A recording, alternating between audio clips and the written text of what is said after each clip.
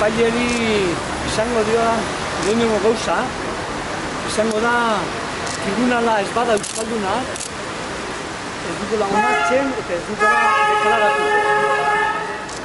Uste dugu ja ordua dela, Euskararen legia badira hogeita amairu urte onartu zela, eta irutzen zaigu herri honetan badugula eskubidea. Euskara deklaratzeko, ez itzulpena, Euskaraz deklaratzeko, eta beraz epailea eta, tribunal osoa izan dago euskaldun.